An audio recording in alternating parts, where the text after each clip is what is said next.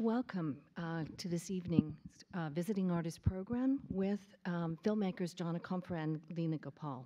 We're especially grateful to you all being here. I'm sure some of you don't have power, and we appreciate your forbearance as we had to rearrange all this because of the hurricane. My name is Leila Kinney. I'm the Executive Director of Arts Initiatives here at MIT and also of the new Center for Art Science and Technology, which has recently been funded by the Mellon Foundation. This um, evening's screenings and discussion are part of a, a whole series, cinematic, cinematic uh, Migrations, which is a two-year collaborative project co-presented by the Visiting Artists Program and the Program in Art uh, Culture and Technology, ACT, here at MIT, along with Comparative Media Studies and one of its newest research groups, the Open Documentary Lab. It was initiated by Renee Green, the head of ACT, uh, also a free agent media. You'll hear from her shortly. She'll introduce the artists and the program that we have uh, this evening. Let me just say a brief word about upcoming events. We have had this uh, slideshow on here, so I hope you've seen uh, the Visiting Artist website. You can sign up there to get um, email announcements about the series and any um, uh, details about all the programs. Our next artist is Thomas Saraceno, who will be here on November 15th, giving a public lecture that will take place in 10 to 50, along with Nader Tehrani, the head of the uh, architecture program, and a professor in architecture, Anton Garcia Abril. I hope you'll join us all for that. There's another program in January and yet another in March uh, featuring uh, Don Byron. I don't know if any of you were able to hear this really marvelous concert um, with Don Byron and his new gospel quintet in Kresge last Saturday night. In the spring, he'll be performing with the MIT Wind Ensemble and also writing a new piece, premiering a new piece that will feature uh, uh, Evan Ziporyn on our faculty, who is also a member of the Visiting Artist Committee and the faculty director of CAST, a superb clarinetist, composer, new music. Um, uh, all, all round maestro. So I hope you'll be joining us for that.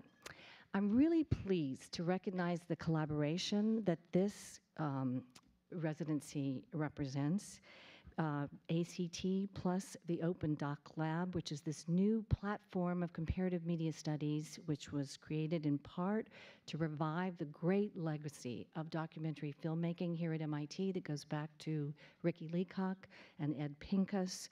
I think we're going to see really wonderful things develop from this um, collaborations.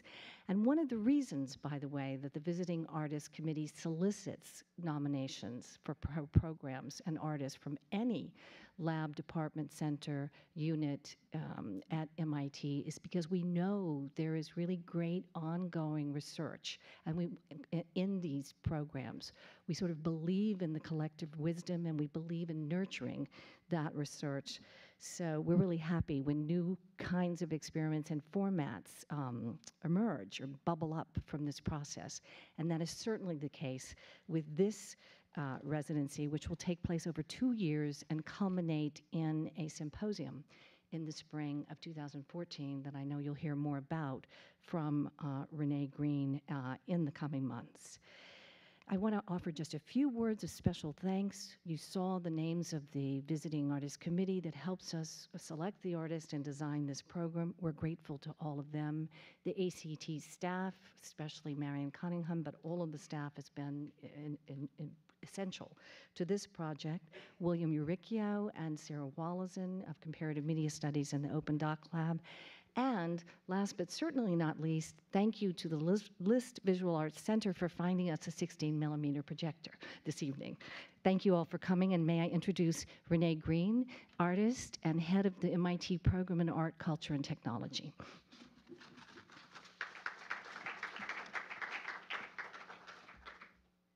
Um, thank you, Leila. Um, I'm going to keep my comments relatively brief because um, this is going to be a double feature this evening, um, unexpectedly. Um, I'm very happy to welcome both John Akomfrah and Lina Gopaul.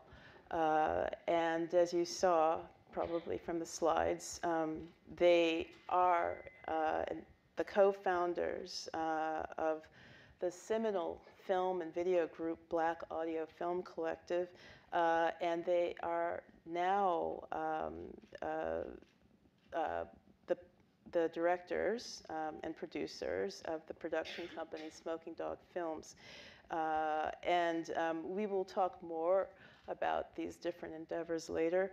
Um, but the collaborative way that they've worked is something that's significant and that we were discussing in the seminar. This project, Cinematic Migrations, is something that um, uh, sort of instigated from realizing um, the many kinds of changes that have occurred in terms of cinema uh, in the present and even the definition of cinema. Uh, it's not even clear what that might be. In the description, uh, that I have written describing what this project could be about. Um, uh, I mentioned that the desire for cinema is something that uh, perhaps existed before there was in any kind of tangible thing uh, known as cinema. And uh, as John described it, the porousness of what it is, uh, what this designation, cinematic migration, suggests is precisely what it is that's kind of appealing uh, to all of us who are engaging in, in this process of probing. Um, in terms of migrations, um, some of what we were discussing today, because there's a seminar that's linked to this project, uh, it was mentioned that uh, there had been an entrenchment of what it was believed that cinema was. Uh, this is what John and Lina were discussing uh, and there was a knowledge of some kind of distant relations uh, to what would have been imagined to be the dominant cin- cinema. Uh, but for various reasons, uh, which have taken place over the past uh, decades, um, these definitions are in turmoil. Uh, and so, without saying too much more, I'd like to introduce these films that we're going to be seeing this evening. Um, the, the way that the evening is going to go is like this. Um, we're going to first watch uh, Handsworth songs. Uh, and um, I won't say too much about it because we're going to be talking about it after the film. Uh, and uh, we will, it, it's shown in two reels, 16 millimeter uh, projection. So there'll be a 30 minute, 30 second pause in between reels, and then uh, we'll continue. Just hang on. And then um, we will have, have a discussion, uh, uh, John, Lena, and I. Uh, take a brief break and then uh, go into watching The Nine Muses, which is a more recent film. And as the title of this e- event describes, this is um, about reconsidering uh, Handsworth songs. And so uh, some of you might be familiar with this film uh, and know that it was produced uh, in the 80s uh, at the time of the, shortly after the Handsworth riots that took place in Birmingham. Uh, and then in the last year, last year in, in London and around uh, the UK, there were other riots that took place, and this film was shown at that time to um, a large reception. Uh, so um, this is the first, and then the nine muses, um, I will introduce it further uh, after we take a brief break. So um, I think we should start. Thank you all for being here.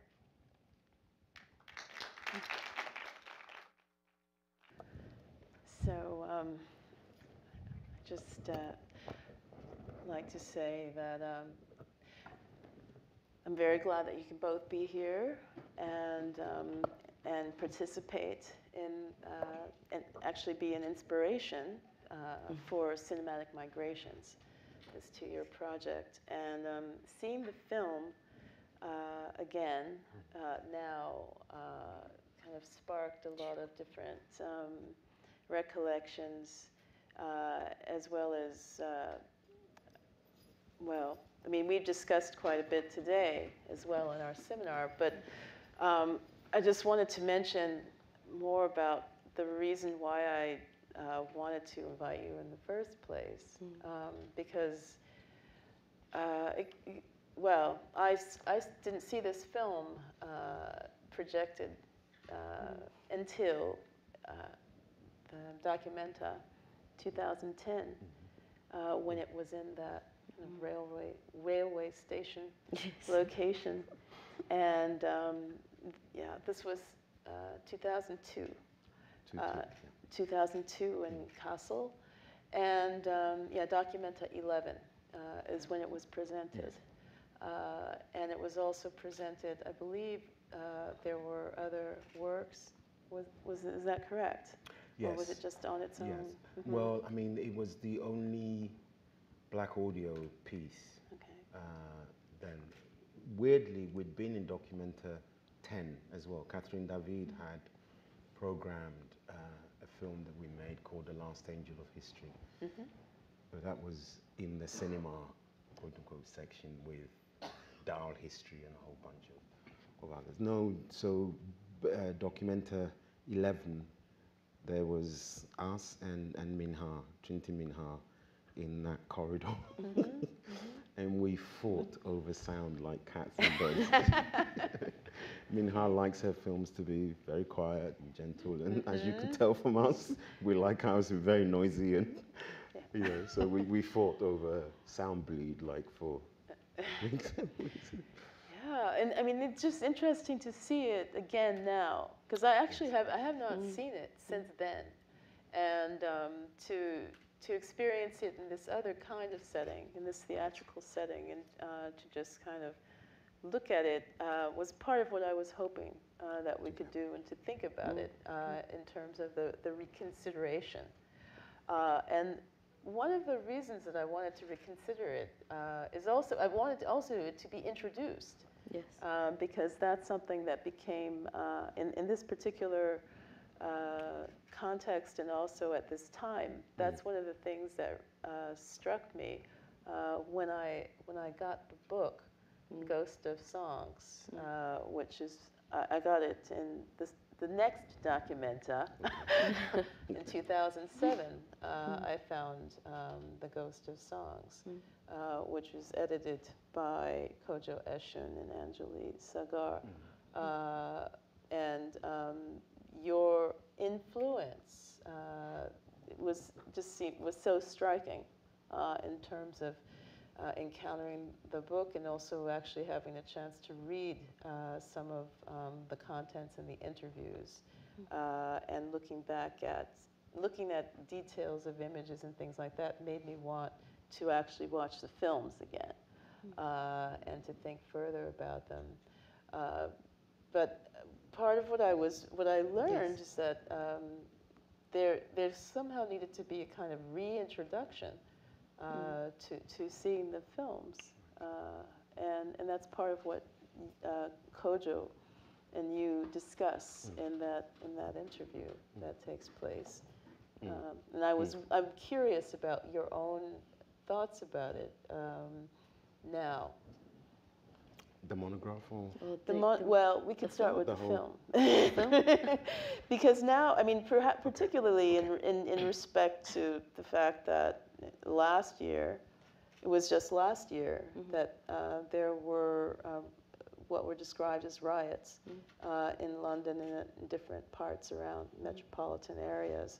Uh, and um, the, there was a uh, reviewing of the film. Uh, and I was wondering from a distance what kinds of ways people were reading it, how this film was invoked, uh, and what kinds of things it's possible to actually grasp. Because that's part of what, what's really interesting Yes, to me about the film and Well, seeing it you know, again I mean, also. What's people- difficult to grasp? There was uh, at the beginning of the disturbances last year. Sorry, Lina. I'll- I'll Yeah, no, I was gonna can- you can- I can see you as well. Um, um, we were approached by a whole number of organizations and institutions in a way strikingly similar to what happened with Handsworth, actually. People saying, you know, you know, we, we think you should make a film about the riots now, and and uh, our position uh, then, and mine in particular, because people kept asking me, you are the director of Handsworth Songs, and you must make another film. I'm like, no, no, no, we we will not make a film about another social unrest again, unless it involves our generation. And uh, the likelihood of a bunch of 50 somethings taken to the street to riot is extremely remote. So I think you can assume safely that, that I won't be making another riot film again. you know. And uh, that was, it was kind of important because, you know, when the events started in Birmingham, you know, we got called by all these organizations that we were connected with. There were three workshops slash collectives in Birmingham. Uh, one a multicultural one called Wide Angle, a black one called uh, oh God, I can't remember. Macro films. Macro Films.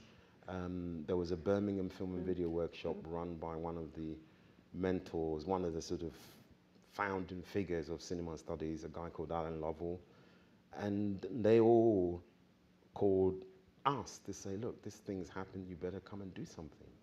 Um, and thinking back, I think the reason for that was fairly apparent. You know, everybody knew that there was this bunch of 20 somethings in London who, who just read too many books, seen too many films, had been talking for too long about alternative, you know, film practices and so on. And, and so the sense was, okay, well, you know, show us what you got, you know. And I remember driving down uh, in this coach with a hastily arranged set of cameras. We got an Eclair from one company and an Aaton from another. We took a Bolex electric you know, camera that we had, which is the most unwieldy bloody thing imaginable. But we had all these cameras, and I remember th- on the way thinking, "This is going to be good." I just knew. I knew. I knew it was going to be interesting. You know, I knew that that everything we talked about from the Black Art Convention in '82, which was a year after the riots, when 80 of us, that's all there was. There was 80 students, black students, across Britain who were doing fine out who wanted to meet to discuss the way forward. So from 82, when we started these conversations, the 84 discussions between us, Isaac Julien, and a whole bunch of other people about collective practice, the debates at the London Filmmakers Co-op with the experimental, the, you know, the debates around the political and aesthetic avant-garde, you know, all kinds of stuff were taking place between when I left with Trevor and when Lina and the others left, you know, 82 and then 83, to that summer, when it felt like almost everything we'd done was in preparation for that moment, you know. Um, so we went. And then once we shot the stuff and started to gather stuff, people kept saying, well, when is it going to be ready? It's like, you know, you've had three weeks. Like, where's this film? and like, no, no, no, wait, wait, wait. This is not a film. This is our investigation um, into what else can be said about this event other than the fact that they were uh, uh, a, a case of lawlessness, which of course it is. I mean, no, you know, But we also felt that it was our, our opportunity, in a sense, to begin to speak about the 1981 riots, where we didn't have any, which, which had happened in 81 almost all over um, England, except, interestingly enough, Birmingham. Birmingham did not riot in 81. And at that point, we felt really quite silenced. We didn't have the equipment, we didn't have anything. We had all our ideas, and we had a lot to say around the disturbances. So in 85, it was a great opportunity for us to, to say something. It was also happening in London too. I mean, it, it spontaneously started happening in London, and you saw there um, uh, in, in Tottenham and in Brixton also happened. And that was pretty much what happened Birmingham, Tottenham, Brixton. And it gave us the opportunity to say all the things we'd been, we'd been storing up since 81, you know, especially the criminalisation of particular sort of black areas, you know, and especially young black men. And that was one of, just one of the themes we wanted to look at. So by 85, we were really quite prepared. Hence, we had all the cameras, you know, and we were, you know, we decided this was this was our opportunity to now say something that we wanted to say, not anyone else wanted to say, but what we felt about from 81 to 85, what had happened to our generation, in a sense. I mean, this uh, it's interesting to hear uh, that particular aspect of what you described in terms of trying to figure out a way that you could say what it is that you wanted to say Exactly. that was different uh, from other ways of, of saying these things. Uh, recently, I've been rereading Imaginary Homelands uh, by Salman Rushdie. And that's kind of, uh, I, I did mention that in the text uh, describing this event uh, in terms of reconsidering, uh, because I've been in the process of reconsidering um, a number of different um, discourses from the 1980s and trying to think about them now. Uh, and when I picked up the book, I had seen that um, Handsworth Songs is in the table of contents, and I was really excited. It's like, oh, that's oh great! You know, I'm gonna uh, read this immediately. So I read it, read the review, and uh, I was very surprised uh, at the kind of um, reaction uh, that he he had uh, to the film, and particularly um, about uh, the, the sort of lack of stories. Or this is the thing that struck me because I thought, oh, that's really interesting. I hadn't, I never, I didn't think of it in that way. I thought of it as something very different, uh, and also that it's something, it's very, very layered. Uh, and you used the word textures mm. earlier mm. today mm. uh, to talk about your ways of working, and I think it's very, very textured in a number of ways, and that the material itself is also uh, conveying something. Um, there, there, are, there are stories in the material itself, from the sound of voices to the, uh, the, the footage that's used, the, the archival footage, um, the whole overlay of, of different kinds of things taking place. And so I was, I was thinking, oh, How it's could he miss the point? yeah, it's about, is, it- is it about reading or not being able to uh, uh, recognize um, what's being said uh, in a different way? And then seeing the film tonight, I, I, it was also very, really interesting to see, to note how many specific stories is, there are. are there, and, and that these are not, you know, that the subjective, subjective aspects of what's in, in the film and, Was- and gathered all together from like a lot of details of all kinds of things that it's not, um, not, they aren't presented in any kind of linear, uh, easily comprehensible way. They have to do, they seem to be much more related to um, uh, different kinds of sensations and feelings in addition to um, footage that might be something that was recognizable. And so this is very different than what it was that he that I felt he was was describing. I was wondering what your thoughts were 10 years, then. 10 years, flash forward 10 years Yeah. after that debate, um, because it was a debate. Mm-hmm. That article appeared in The Guardian. It was read by many and it generated a huge um, discussion, as I knew it would. And, and he mentions it in the introduction of the book 91. Yeah. Uh, mhm. Um, so 95, the fatwa had been passed. Salman's in hiding, and I go to Colin MacCabe's house with Lina because we wanted to make a film about the affair. and the security services turn up, and there's someone you know, gathered around him. Uh, all these guys with big guns, and we sit down. It's the first time we'd spoken uh, since the, the, the thing. We used to speak before. And he says, Look, I got it wrong. Okay? And, uh, and I said, Well, uh, listen, that was the best thing that you could have done. because actually, uh, we were grappling with something. We thought we'd nailed it, but in the process of debating it in the newspapers, we realized what it was, you know, that had to be broken. And what for me had to be destroyed was a certain kind of ethnographic veracity, right, which had characterized black and third cinema films up to that point, which was that people told it as it was, they told it straight, you know, and you were supposed to feel the injustice from the celluloid, you know? we're poor and we suffer and this is it. You know, look at our kitchens. We've got no food in it.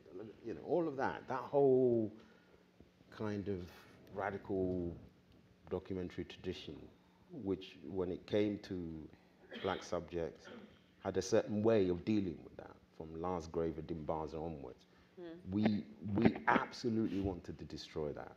I mean, w- well, not destroy it, but to, to, to draw a line which said from this moment on, there had to be some reflection about the nature of these images. There had to be some reflection about the nature of the histories that those images were supposed to speak for. Um, so I knew what he meant. I knew, you know, we shot 70 hours, and in the course of editing it, took more and more and more of the material out. We just kept taking it out because it didn't feel right. Didn't, you know, uh, didn't, it didn't seem to be getting us anywhere because the critical problem was that a week after the riots, Thatcher and her cronies, neoliberal cronies, were on television and they said, these are criminal acts. That's it. So that was the consensus. Now, no amount of us showing, you know, police brutality was going to destroy that mm. regime of truth. You had to find another way of saying, okay, it may well be criminal, but it's something else as well.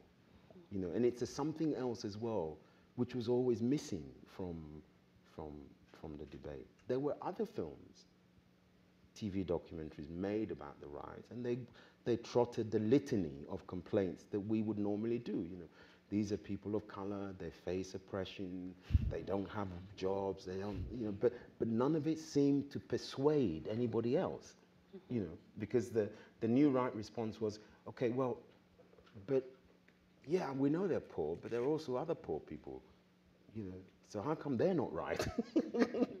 Why is it that these people are right? Ah, we know it's because they're black. so you had to confront this question of race. There was no way around it. Salman's idea was that if we showed their stories, their real stories, somehow you could usher the, the inconvenient truth of the riot out of the, you know what I mean? And it wasn't going to work, no? Mm. Well, and also, know, I mean, interestingly enough, we, we when we first made Handsworth songs, we took it straight up to Birmingham, and we showed it there um, in front of a huge audience. Do you remember, John? Um, and it was so well received. I mean, there was, especially by, um, I think the first generation, the first generation of my of you know the, the older generation, our parents' generation, who actually began to see that they were reflected, their hopes and aspirations were finally shown in some way or another because, you know, none of them, as we've always discussed, came to the UK to, to work hard for years and years, save up, get to, to the UK, and then raise children that were going to take to the streets and riot. You know, that wasn't their hopes and aspirations. No one does that. Um, and I think for a first time, a film actually sort of stepped back and reflected on how did we arrive at this point? You know, what are what what happened to get us there? How did, you know, that first generation come over, raise a second generation, and you know, wherever that second generation uh, was, especially in '81, there was trouble. What what happened? How did we get there? You know, what, what are the perceptions that people had already about us, about our communities, about, about where we'd come from and what we'd brought with us, pretty much, you know, to suggest that, all, that, that this was quite normal behaviour. And that's really what we were also trying to do. We were trying to say, how did we arrive at this point? You know, and, and I think in Birmingham, that film was so well received. We actually showed it in Hackney, in, uh, you know, very close to where where we actually um, had our, our studios. And we showed it in Brixton and we showed it in, in Tottenham. And we didn't get any of those sorts of responses at all. The, the Salman Rushdie kind of response. We got, you know, people were really, really, really grateful that we'd made a film that actually took a moment to talk about all these different issues, whether it was the media and the way the media treated um, people, treated black people uh, in, in various areas. I mean, so we just broke it down and we tried to reflect all the particular concerns that, that we had ourselves, that that generation also felt that they had. now. Um, and we got, got great, great turnout. It was enormous turnout that we had. Yeah. So, and then that's a side that's never reflected or, or written about. I mean, Salman Rushdie's response was in the national newspaper, and a huge debate happened, but no one ever, ever talked about the huge audiences that Handsworth Songs actually had. You I mean, I think it's a, it might be a good segue uh, to the to the next film uh, because uh, what I uh, remember from the screening that I went to when I first saw that one is what John mentioned about epitaph, um, an epitaph for those who who didn't have one. Yeah. Uh, and this whole discussion that we've been having uh, today also about uh, how, how does one arrive, um, on, and also how we talked a bit about um, ontology and being and the way that uh, there are formations uh, that are created in, in transit and Yes. in migration uh, and in longing. Uh, and some of those things come through in, in the in Handsworth songs. It was interesting to see it now after having seen the Nine Muses, and so maybe uh, we can make a shift uh, Yeah, to no, that. absolutely. Is it is is there Absolutely. anything else you'd like to say before we we do that? No, I mean, I think I think the, the, the question of the epitaph that you quite rightly remembered from that thing is, is critical because the so-called Windrush generation, that's basically the, the generation that started to, to make that shift to, to Britain from 49, is now almost gone. They've almost, I think they're, they're now in their hundreds. Um, and it just struck us that, that in a way, something, something needs to be said. There are no, there are no epitaphs. There's no, there's nothing anywhere in England which says, you know, here lies three million men and women of color who came from across the Commonwealth, from India, Pakistan, Jamaica, Ghana, Nigeria, when these countries were colonial entities, who literally gave their lives to this place to, to ensure that it came out of the, the ashes and embers of, of, of the Second World War.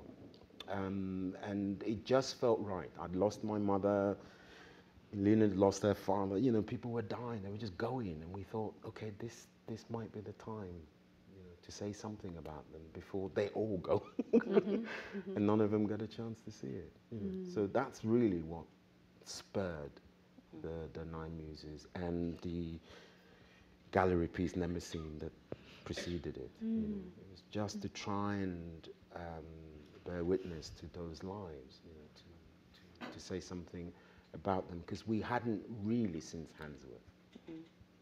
After Handsworth, we became obsessed with our generation and its its issues and its problems. Everywhere we went was really with that, whether it's Malcolm X or Louis Armstrong or Martin Luther King. We were really following our generation's passions and obsessions and, and our own, to be honest. You know, um, uh, the Nine Muses was the really third time after Testament.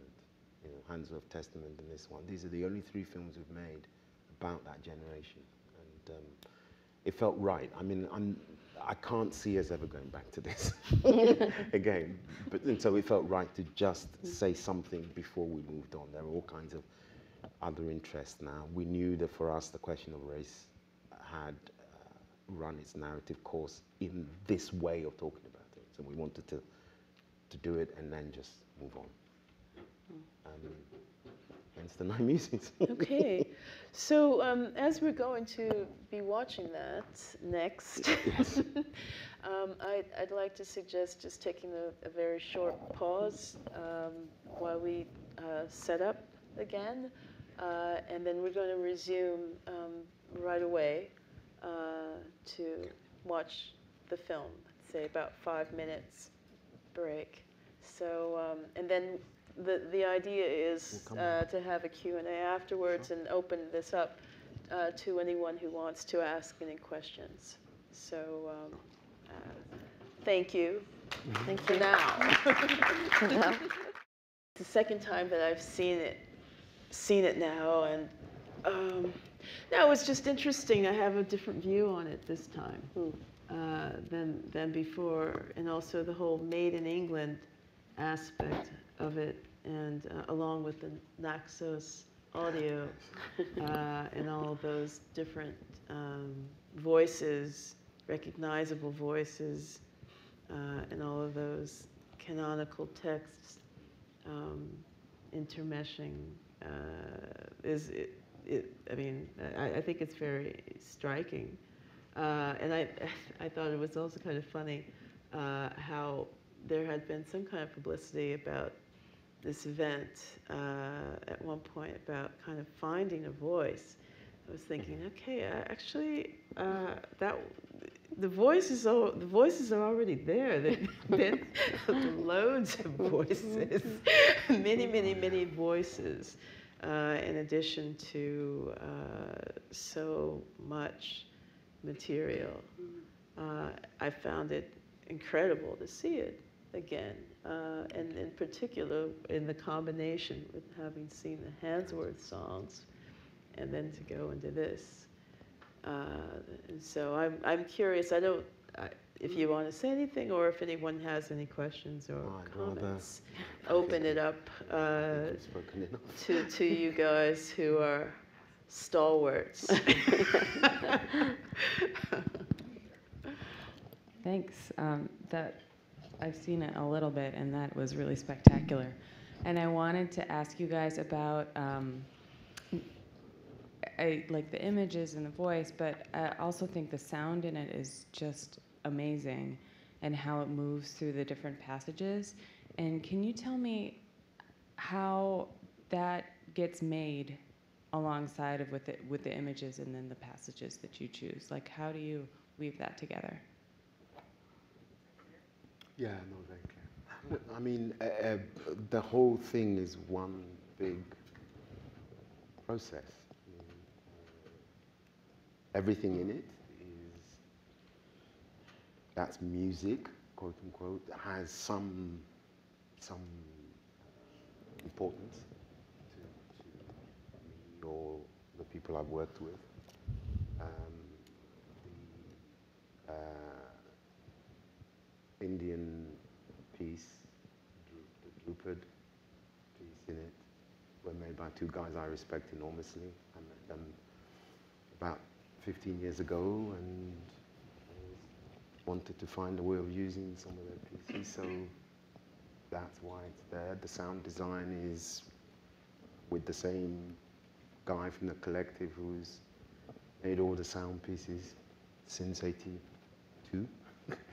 you know, so it's all stuff that um, we know, love, and the question always is, how do you get them to talk to each other? Not in harmony necessarily, but just have a conversation with each other. How do you create something out of a set of noises, really? Not interested in music, I'm interested in noise. Much, much more interested in noise than I am in music. So everything is there for a certain kind of noise value, a certain pitch value, a certain chromatic atonal quality that it has. And, and you just try and fashion something, you know, no plan, just, just, just go for it. Trial and error. Yeah, but there's, there's also a huge big sound designer too that we have, that we've worked with for, for probably about um, 20 years now too. There's Trevor, then there's um, Robin, who also does, yeah, does a lot of work with us, and it takes, just on his level, about two or three weeks of breaking down things and, and reconstructing them. Um, you know, marrying together also the work that we've already done in the edit, but you know, he, he brings a freshness to, to some, some of the, uh, the sounds and the mix It just takes a long time. Because everything's So mute. very- There's no, Mm. there's no sound to start with. We build from, from scratch, everything. Wind, rain, the whole lot. Mm.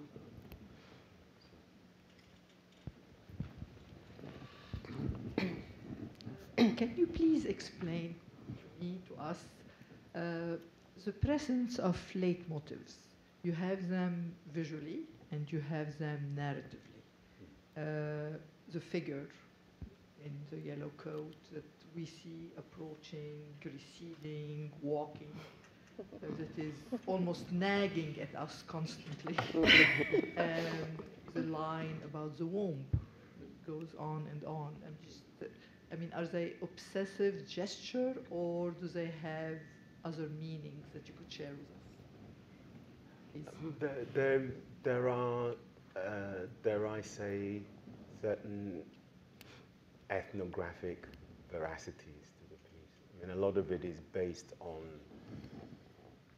Um, I mean, we've been filming, interviewing, documenting you know, that generation really pretty much from the get-go for different forms of projects. And um, one of the things I've always said about this piece is that it's really based on three fairly uh, consistent motifs that emerged from these.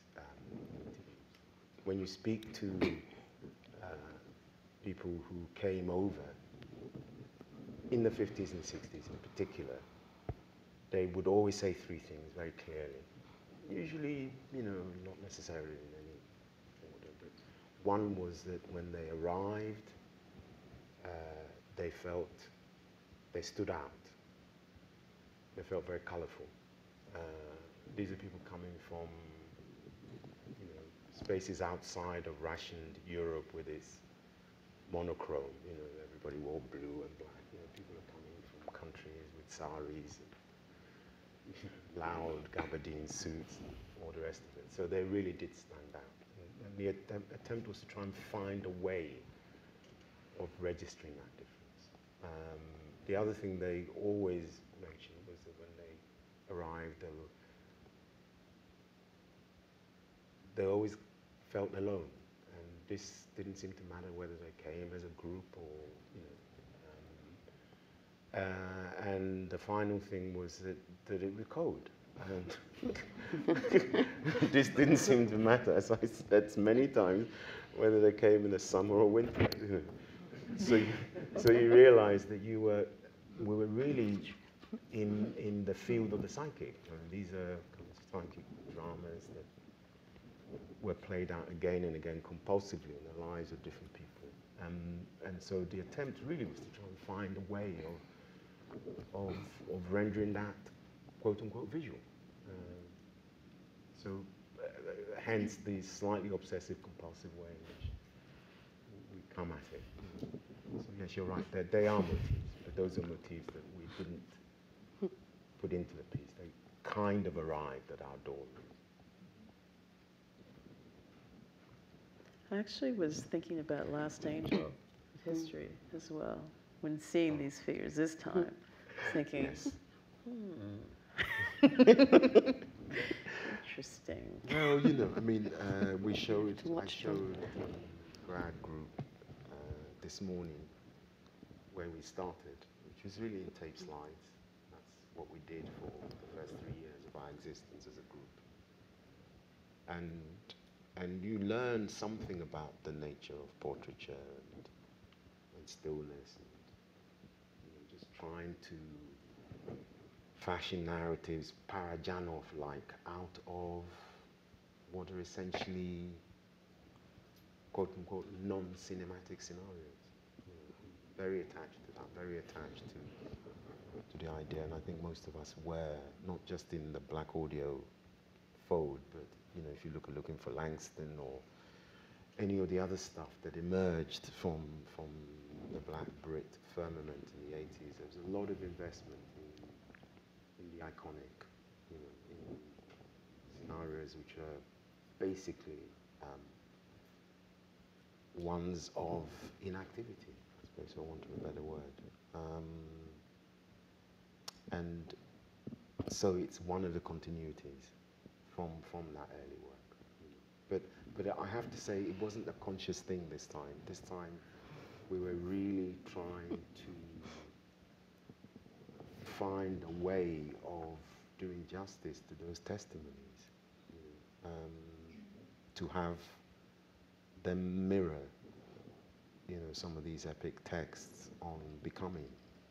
It was really an attempt to find something that might speak to Milton and speak to the Odyssey and you know, all these great tales of arrival and becoming, the journeys which become home and the process which becomes the life, etc., etc.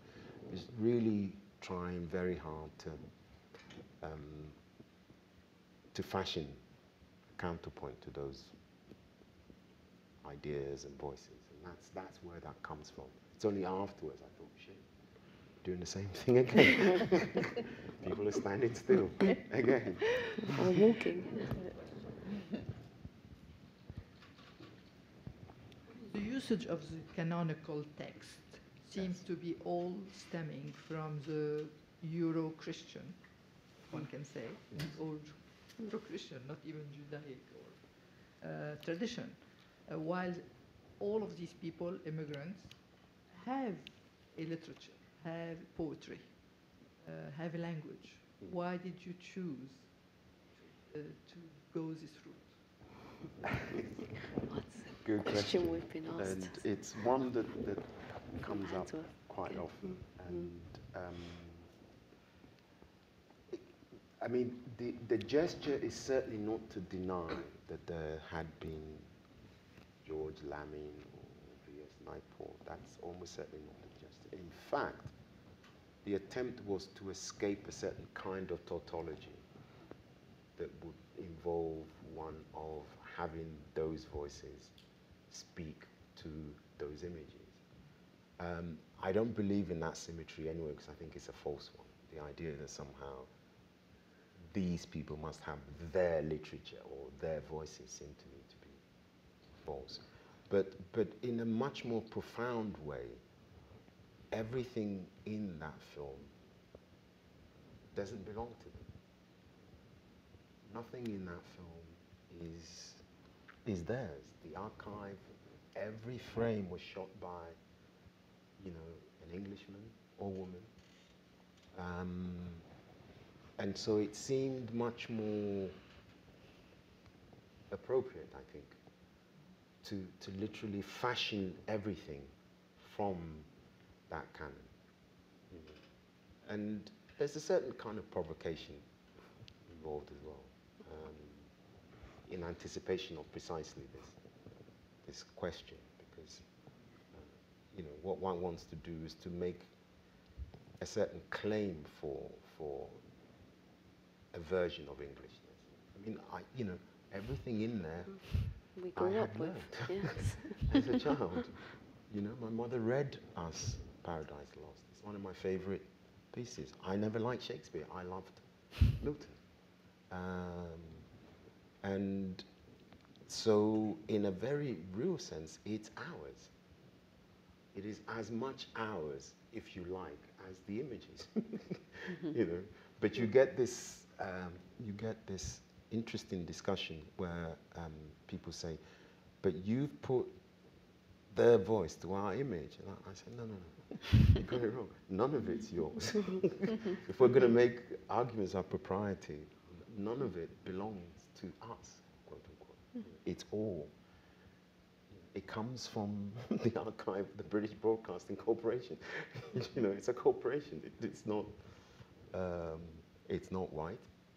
It's just a corporation. But that corporation was supposed to be for the nation, and we are part of that nation. You know, um, so I think it is almost letting those images off the hook by marrying them with outside discourses. You know, with um, the, It seems that you accentuate the concept of colonialism, and that's great. Yeah, but also that. But I mean, you know, the, see, the, the, the, the, the other point is that um, Naipaul and Baldwin and Lamming and all these people became important for my generation. You know, um, everybody in that film is British. They, they're not foreigners. They, they went from one part of the empire to the next, with the exception maybe of the Indian subject. Everybody in it was, was, was British. I mean, they were formally and legally British. And so they would have, had they gone to any of the prestigious public schools in In Jamaica, Lahore yeah. to Accra, that's what they would have studied. Not, not the burgeoning post-colonial It's literature same, which came yeah. to define my generation. You know, and so it's on. It, it felt more honest to say, okay, we're, you know, if you're going to go into this space and speak from that space, let's do it without um, alibis. Mm-hmm. I mean, I just, I, I think it's interesting to think about it in terms of the parents um, very much because, I mean, when I was watching it also, in, in, and this is from my perspective of being formed in this country, but in terms of the references, and uh, the- it also relates to particular um, class, I guess, as well as uh, aspirations, and uh, you know, uh, the the whole idea of what a kind of culture might mean. Uh, there were a number of recognizable sounds that I I noticed uh, also. Uh, say, was it Leontyne Price who was Oh yes. And then um, also the Paul Robeson voice Yes. on the record, and um, just and, and the under the Milkwood, uh, the Dylan Thomas was very familiar, and so I think that if there's a kind of Anglo, um, you know, aspect of what you grew up with, Yes. which is, would also apply in, in other locations. I think that this is really, it, I think it does touch on a number of different um, things, and the way that you've combined them is what I, I find it very provocative uh, and, and, and touching um, because it's to, to, to fashion something from all of these different aspects and then uh, also keep interjecting the figure Mm. as well as uh, those images of the, that's Trevor Mm. Matheson, isn't it? In Mm. those all That's kinds of different situations yes. in, uh, in the in concrete uh, in cylinder, things like that. Yeah, and um, it had a very haunting quality to it with the stillness. I didn't mean that it was the same as as the other, but know. but more it was so persistent Mm. this figure these figures in this cold well this snowy and frozen landscape that it, it was really i found it haunting um, in this i mean i thought it was haunting before but it was so persistent We just had to evoke, evoke that that that feeling. It was it's quite a difficult thing to try and do, um, to try and evoke that feeling of loneliness, that feeling of arriving somewhere. What? How do you try and visualize arriving somewhere and it's cold and you stand out and you feel that consistently all the way throughout your your time in England. Um, and, and I suppose it, it, it was pretty stark, but it, it, it needed something. but i mean the combination formally is really interesting that the it's you know such high definition of the still imagery in the frozen cold places with the uh, more granular uh, material that's with uh, m- motion uh, and vibrating also frames well, that's the counterpoint because it's not, you know, we're not trying to dramatize real scenarios. It's not like it's not real. Half these people are dead, including our own parents. Anyway, I've spoken. Thanks for a lovely both the films. I just had a uh, looking at both the film and this film. Uh, there is a kind of a double bind in this film which is very intriguing. in the sense that you almost feel geologically situated in a sense that the the, the energetic, the mythical, all is beneath. I was just and in a sense that you see this whole energy being brought into surface, but the film has this dominant feel of that it is a geological strata. It is it is very difficult to be even surfaced. Hmm. I'm just is this the double bind something that mm-hmm. emerges as the as the making of the film work? Yeah. Or is it the double bind that is a priori? I'm just curious because of the your earlier 86 film, it is hmm. almost an explosive structure. Hmm. And the weeness is what was I was telling to Javier, the Venus was amazingly uh, open in a sense that it could take anyone into it Mm. as a as figures. But in this, it is more calibrated. The Yes. the markings are more calibrated. Yes. no, So I was just curious structurally as a film. I- mean, um, no, you're, you're, you're absolutely right. Um, not so much geological, but I, I think the structure of, of um, Nine Muses was much more informed by the idea of trying to construct a sorrow song, a kind of Trauerspiel, you know, uh, a sort of mourning play, for want of a better word um, because in a sense there's nothing to say. You know, with, with Handsworth, there was there was a lot to say. There was um, anticipation of an opening, a rupture, and so on and so forth. This is really uh, an attempt to say something about how things come to an end. You know, um, so we we struggled with trying to construct the counterpoint for the more active, more granular, uh, more uh, present tense material, which is strangely enough the past. the archival stuff is, is the past. How do you provide a, a counterpoint to that, which suggests that, that, that in many ways the lives you're watching in the black and white, more, I mean, there's not one person alive, other than maybe a few of the children. Children, Almost, almost no one in that film is, is alive. And I was reminded of um, a story I was told in Australia where, you know, a number of black Australians were saying to me that once someone dies, images of them are forbidden because, you know, then you're trespassing in, in, in the space of, of the dead. It, it- that was a very strong feeling Yeah.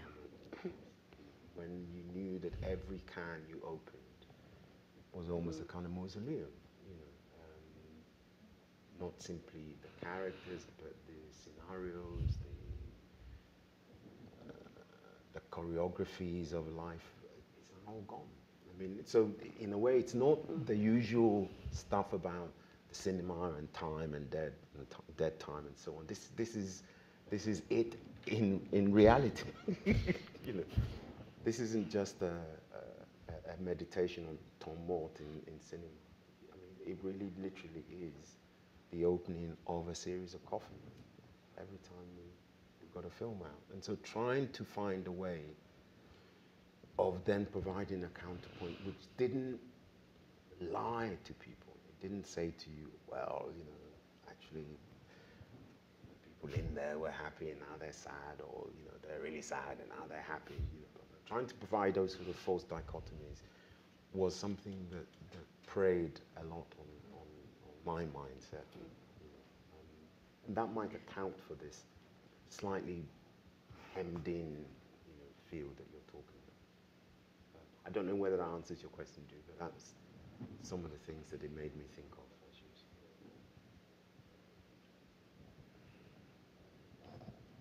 It's not the happiest of films I've ever made. Put it that way.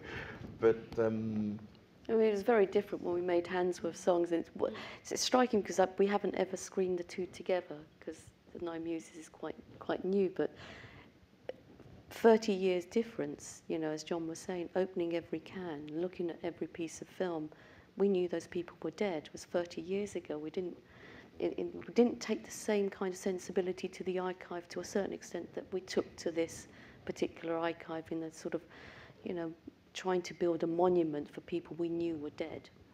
Quite literally, the people in the film, the people that we knew, you know. Um, so it was, it was, we did take a different sensibility to it. It was quite frightening at times, really, just knowing what we were not just the with, people in it. You know, there's one of my favorite uh, filmmakers was a British filmmaker called Philip Donnellan. Mm-hmm. I've used his stuff in just about anything I've done in the past.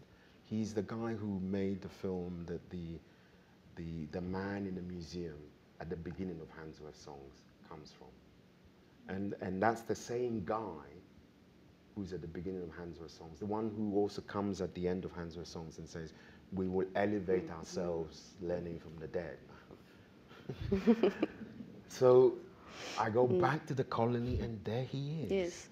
Um, except that that sequence is the stuff that was shot six months before. And now he's saying something else. He's saying, you know, I've just arrived and I'm a bus conductor and and I have to find a way of making this shit work for me. It's not quite what I thought, but I have to find a way of making this shit work for me. He's gone. He's, you know, uh, when I saw him in Handsworth Songs, Lina's right. Uh, during the research for Handsworth Songs in 85, there was a possibility that he was They were alive. Mm. Not now. Gone a long time ago. You know, um, and that does something to your head. It also does something to your practice. When people you've known, you know, and I say known because that's what it is. I've known these figures forever. The man who says, I love you, you know, like I saw him make that statement in 85 and I fell in love with this guy because he seemed to dramatize something about colonial becoming that I've always wanted to use in something. Here he is, and you look at him, and he's got this gash across his face. He's a gangster, but he's trying to cover it with a beard, and it hasn't quite worked, you know. So he's sitting in his house, and he's obviously being asked a question like, you know, so so what do you feel about being here and about the English? And he says, look, you know, I love you, but the majority of you don't love we. And, and the bit that kills me is when he says, you know, that we came with pure heart. pure heart. And mm, um, this is a gangster. He's probably never said this to his wife. You know? And he's saying it to a filmmaker who's gone. And he's gone. And, you know, it, it, it just changes your relationship to the image when it's infused with that level of nostalgia. You know, uh, it changes how you approach the use of it uh, in a way that it didn't. I didn't have that, you know, 25 years ago. it was like they're just images. You know, now now they're more. That's all I meant. Okay. Um, I don't see any more questions, and um, it's been a very, very Thank you. so rich evening. Thank you so and much, Renee, um, for doing I'm, I'm Thank you for putting Thank the two you. films together Yeah. because it's given me a lot to think about too. yeah, Yeah, Thanks which I for haven't coming. seen. Thanks. yeah. Thanks everyone for Thank you.